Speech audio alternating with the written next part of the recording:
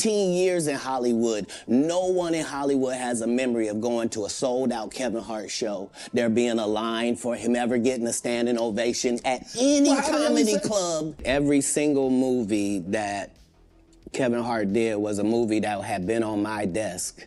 That all I had said was, just can we take some of this step and fetch it shit out?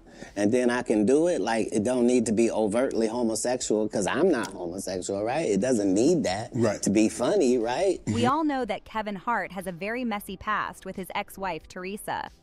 Katt Williams recently announced that he's going on tour with her. This announcement comes shortly after Katt dragged Kevin for filth in an intense interview with Shannon Sharpe, where he accused Kevin of being an industry plant and selling his soul for fame. It appears that 2024 will be a very difficult year for Kevin Hart. There are rumors that this won't be your typical comedy tour since Torrei will be disclosing some serious information about Kevin, which has angered him and caused him to clap back at her. He already had his deals when he got here. Have we heard of a comedian that came to LA and in his first year in LA, he had his own sitcom on network television and had his own movie called Soul Plane that he was leading? No, we've never heard of that before that person or since that person. What do you think a plant is? Honestly, Kevin should just hang it up and get off social media for a while, because it hasn't been a month that his former assistant also appeared in an interview with Tasha K and exposed him for cheating on his current wife, Eniko Hart, and being a gambling addict. The man can't catch a break to save his life right now. The first scandal was with the first baby, correct. the one in Vegas. Yes, So these other scandals, it's another one in the office. She pregnant again. Correct, with her second And baby. he's still leaving semen stains all Hey, Tasha K be getting all that information, bro. For real. again. Correct, with her second And he's still leaving semen stains all over the couch at the Yes. HartBeat. Correct. and showering and then going home like I told Eniko, like Kevin is cheating on you with a girl named Mix Morgan. She's his flight attendant. She's on his planes. does Kevin have a gambling problem or something? His game is poker. He gambled y'all money away and, and had to pay y'all half checks? Yes, I, well, exactly. I, it was Leland. Leland was messing with our money. But I said, I am. Here she is. Ooh! She got it. She on vacation every day. Oh, when you see a bitch and she on, all she do is post vacation pictures with no nigga beside her, the nigga taking the picture. He's like, nah, baby. Yeah, you know I'ma take the pictures for you as many angles as you want, but I can't it, to ensure he don't go up in these motherfucking photos. Oh, Right, Nico, I love you. I'm not going to speak bad on her. The messy part of that Tasha K interview is that Kevin got very agitated shortly after it was posted and filed a lawsuit against Tasha, claiming Tasha had attempted to extort him by threatening to conduct an interview with Miesha Shakes, his former personal assistant. Additionally, the lawsuit claimed that the assistant had made false statements during the interview. However, before Kevin could successfully pursue that lawsuit, he was hit with more accusations after Katt Williams called him out for being an industry plant on Club Shay. It's worth noting that this isn't the first time that Katt has truly come after Kevin. When Kevin appeared in an SNL skit a few years ago, he was called out for the first time. At the time, this was a big deal because Dave Chappelle had appeared on The Oprah Winfrey Show a few years earlier and had discussed how the producers of a movie he was working on were pressuring him to wear a dress. I mean, I'm a conspiracy theorist to a degree. Like when I, I connect dots that maybe shouldn't be connected, I don't know.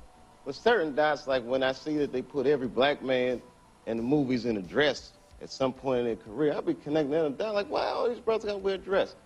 That's happened to me. I'm doing a movie with Martin. Yeah. The movie's going good. So I walk in the trailer.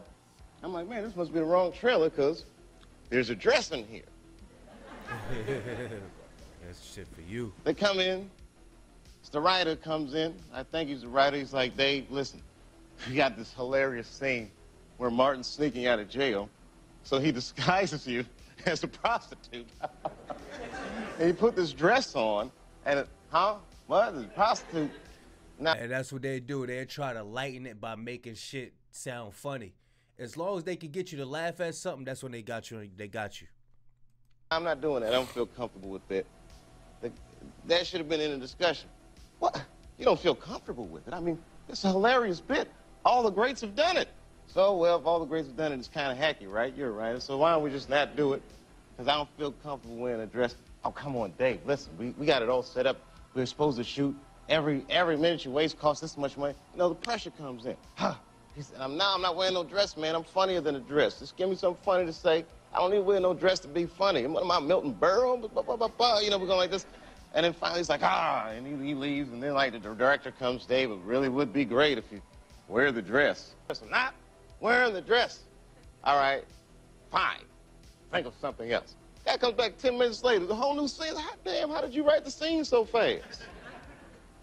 You know, it's like, so you gotta take a stink. Kevin tried to brush Dave's comments off when he was later questioned about them, but he made it very plain that he would not compromise his boundaries or morals by wearing a dress. Dave Chappelle, another great comedian, said that, you know, in the industry, they tried to make him wear a dress. Have you ever ran into that with, with scripts and and is that something that, you know, you wouldn't do, you know, for, for Uh, I definitely haven't ran into to put on the dress. Uh, I mean, you know, you, you have to have you have to have boundaries. You have to have limits that you refuse to cross. Uh, you know, for me, I know what they are.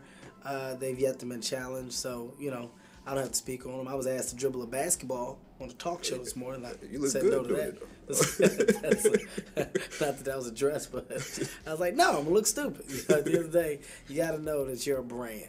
I'm a brand. Uh, you need to protect your brand at all times. But after a few years, he disregarded his own advice and appeared in a dress on an SNL skit, channeling his inner drag queen. When asked later about Kevin's dress choice, Katt responded that he didn't think it was Kevin's fault because he was just a part of a broken system that demands black men emasculate themselves in order to succeed.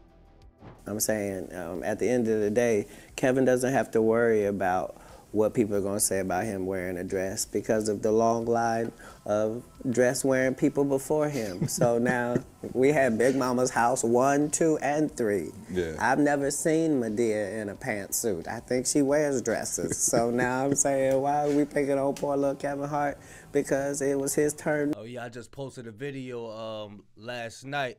Marlon Wayne, Marlon Wayans think it's okay. Shit, he he was he he did that little white chicks movie. He was like, shit, we need to stop tearing each other down and just put on a dress.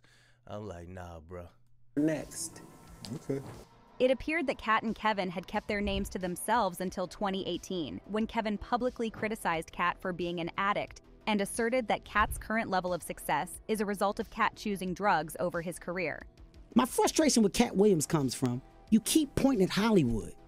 Hollywood, this, the white man, this, this, and this. When do you take responsibility for your actions? You had the shot. Katt was in that position at one point. You were the He was, yeah, guy. yeah. You were set up to be the star. You didn't show up to work. You Hey, that shit crazy, bro. No man should have to put on a dress to act, bro. If they acting, they that mean they went to school, they good at it, and that's what you want. Nobody should be putting on no damn dress. But yeah, what y'all think about Kevin Hart and his, and his endeavors with his little side chicks and shit like that, man? Hey, bro, he got the money to do it. You know what I'm saying? It's, it is what it is, bro. Big Kish signing out.